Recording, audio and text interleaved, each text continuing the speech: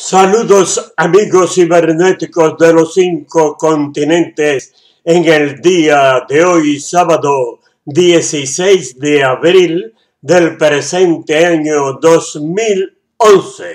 Como todos los días, presentamos a través de las páginas de YouTube y Facebook por la internet su programa favorito, Entre tú y yo, efectivamente, sí, sí, le estaba diciendo al público que efectivamente ya le vamos a presentar el programa entre tú y yo. Óyeme, el programa de la belleza latina se ha puesto caliente, pero en verdad caliente. He recibido cientos y más cientos de comentarios del público que son los que sostienen a estas cadenas de televisión y los programas por los ratings, los escuchan. Óyeme, lo que está existiendo dentro de la casa donde habitan las aspirantes a ser eh, nuestra belleza latina Eres carajo, chico, eres carajo. Figúrate que ahora una hermana de la concursante, coño que por casualidad es cubana. Sí, yo no sabía que era cubana. Si no la dejan seguir participando, óyeme, van a perder, van a perder no solamente el programa de buscando nuestra belleza latina, sino la cadena Univisión en pleno. Muchas personas que sintonizan distintos programas. Mira, aquí tengo, aquí tengo las declaraciones de la hermana Juliet. Sí, Juliet. Ella afirma, hermano mío, que la aspirante que quiere despedir por posar desnuda, que es mentira y mil veces mentira, y se lo puedo demostrar en cualquier tribunal y ante la FCC que está desnuda. Coño, está bajo maltrato psicológico, sí, dentro de maltrato psicológico. Así que si la quitan del programa, se pueden buscar bien los productores de este programa hasta una demanda. Pero, mira, te voy a colgar, pero escucha bien este mensaje que estoy transmitiendo en el día de hoy para los cinco continentes.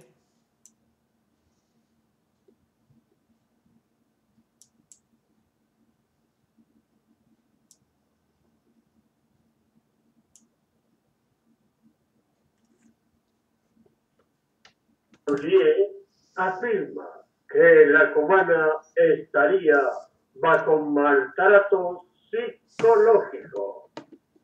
Heidi, la hermana de Julie Cabrera, afirma que su hermana soporta maltrato psicológico dentro de la mansión de nuestra belleza latina.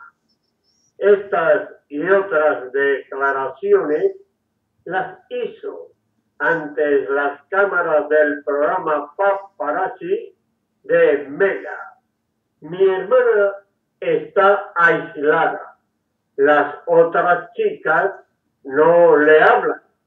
Ella está sufriendo maltrato psicológico, agregó Heidi.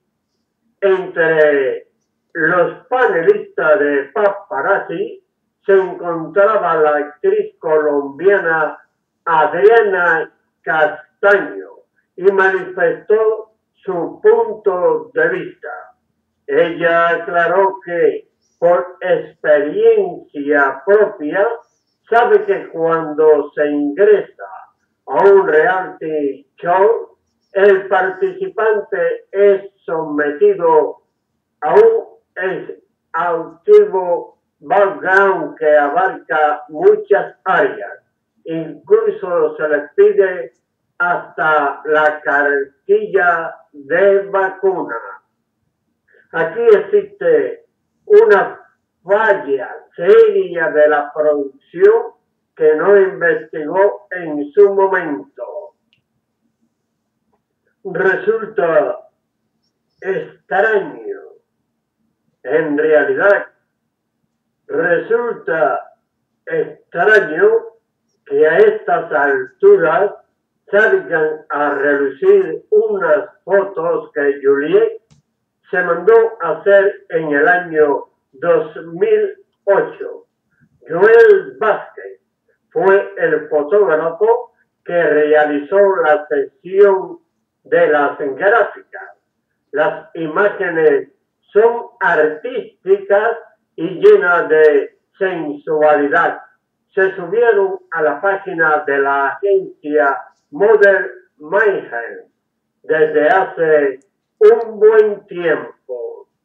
Lo cierto es que Univision está usando el tema de las fotos de Juliet como una estrategia publicitaria en el anuncio del próximo show de nuestra belleza latina.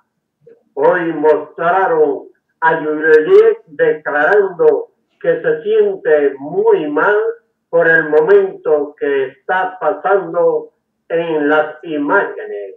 Se veía una Juliet nerviosa que al final rompió en llanto.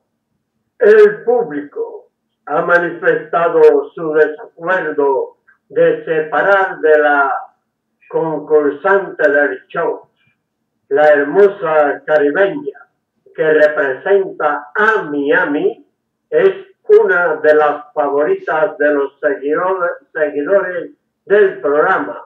De lejos es la que mejor luce en la pasarela de traje de baño. Todo este circo mediático ha favorecido de alguna manera a Juliet. Hoy su imagen es conocida de costa a costa en todos los Estados Unidos y de seguro le llegarán muchas ofertas de diferentes revistas y medios de comunicación. Este domingo se revelará la decisión final de la producción. La controversia y la competencia es saludable hasta cierto punto, pero tampoco se puede permitir que se juegue con a las emociones y a las ilusiones de la persona con el único propósito de generar rating. Señores, a la verdad, si la producción del programa Nuestra Belleza Latina determina dejar fuera del concurso a la joven, se van a buscar un 2 por 4 Hay motivos inclusos Vuelvo y repito para hacerles una demanda. La jovencita ya está sufriendo síntomas, señores.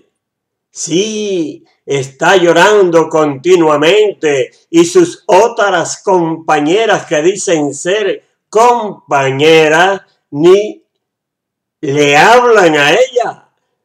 Óyeme, ¿Será que la casa de nuestras bellezas latinas donde están residiendo mientras se termina el concurso, se han hecho idea de que están viviendo en una cárcel cubana? Óyeme, esto es un desparpajo y pudiera costarle muy caro a los protagonistas, o sea, al editor de dicho programa. Hasta aquí mi comentario de hoy en YouTube y Facebook. Hasta mañana, mis queridos amigos.